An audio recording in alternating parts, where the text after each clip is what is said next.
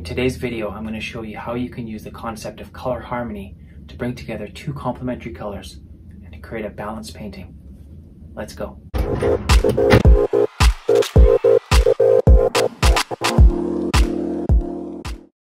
I wanted to paint this piece to honor my best friend who is Persian. In his culture, the teapot, pomegranate, and saffron are all important symbols. I'm going with a very simple background made up of just two colors.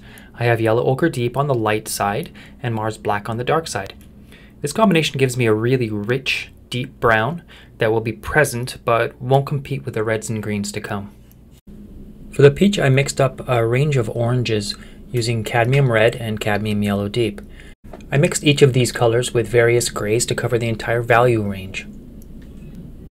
As a side note, these four colors, black, white, red, and yellow, is the entirety of a very minimal palette called a Zorn palette. It's a really fun little experiment to try to create a painting using only that palette. For the pomegranates, I have four colors that are all in the red family. Brilliant Pink is a handy color to have at my disposal because it makes for really great opaque highlights for the more transparent reds. This is magenta. It's such a beautiful and underused color. It's transparent and so it glazes on top of reds really well and it gives them that incredible warmth and depth.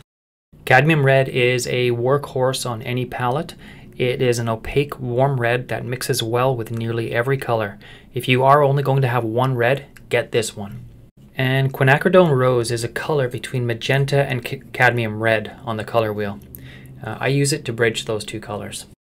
I have a very simple palette of black, white, two grays, and three greens. I'll talk more about the greens shortly. I usually mix my own grays, but for this painting I decided to use both Portland Grey Light and Portland Grey Dark. I wanted my grays to be really consistent, because I knew I'd be getting them mixed up with the greens if I wasn't careful. For the greens, I have an analogous color palette of two lime greens, and those are the greens that tilt toward yellow on the color wheel, and two other cooler greens that tilt toward blue on the color wheel.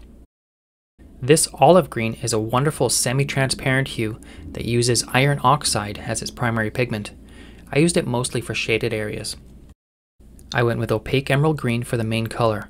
Emerald green is less vibrant than a lot of greens, so it was perfect to replicate that verdigris look of oxidized copper that I was going for.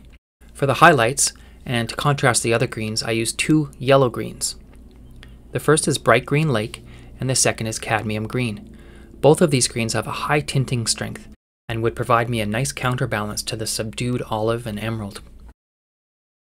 Thank you so much for watching. Sub, like, comment, and share for more color tips. Happy painting!